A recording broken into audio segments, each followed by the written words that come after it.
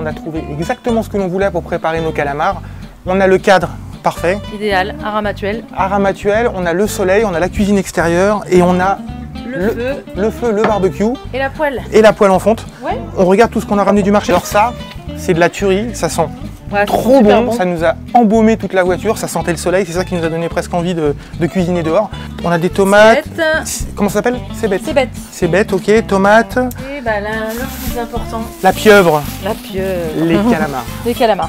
Pesto, c'est basique. Moi, je mets de l'ail, du parmesan, des pignons, de l'huile d'olive, du sel, du poivre. D'accord C'est un peu comme euh, ce qui nous plaît.